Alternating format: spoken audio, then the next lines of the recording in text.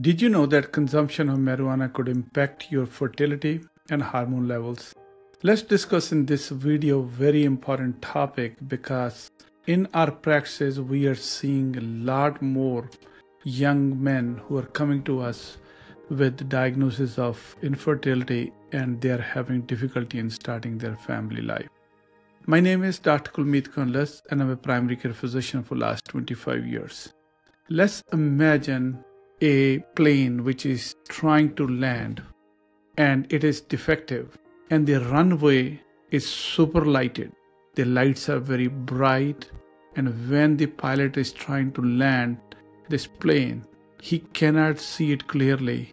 He misses the runway and crashes and lead to an accident. That's exactly happens when you are a young man trying to start family and you are using marijuana you need to understand the effects of marijuana on male reproductive health. If you are a constant user of marijuana, and it is very disturbing to know that a survey was done in 2022 where it was noted that 44% of young men between the age of 19 and 30 have used marijuana in the past year.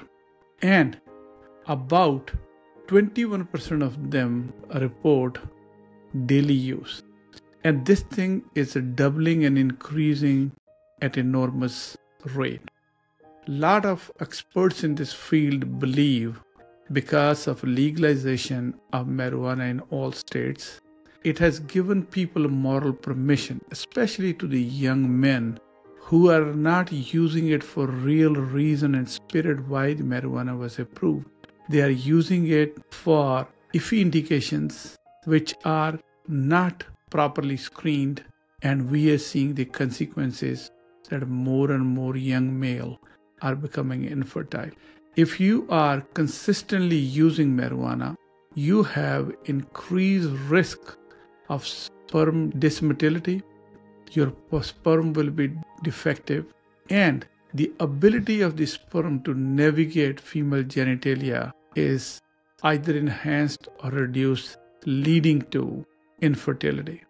Marijuana directly decreases the level of testosterone, which decreases both libido and also sperm count.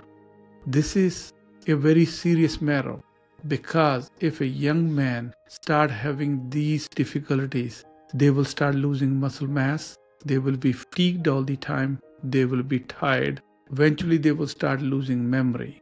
It is not a innocuous drug, and we have given moral permission to use it for more indications than it really should be. After sexual intercourse, when the sperm is ejaculated, it navigates female genitalia based on gradient of endocannabinoid receptors if God forbid your partner is also using marijuana, that will lead to exactly the scenario which I described in plane landing. In that situation, the endocannabinoid receptors will be firing at a much faster speed and your sperm will miss the egg and you will have difficulty in conception. Please make sure do not use marijuana just as a panacea or a very innocuous drug. It is highly addictive, and cannabis use disorder is a recognized entity, and we are finding it more and more people who are getting addicted to it and leading to complication and most important is the sexual health. Good part is it is reversible. If you and your partner stop using marijuana, you will not have any sexual health problems on long-term basis. I hope you get the message loud and clear that this is not an innocuous drug.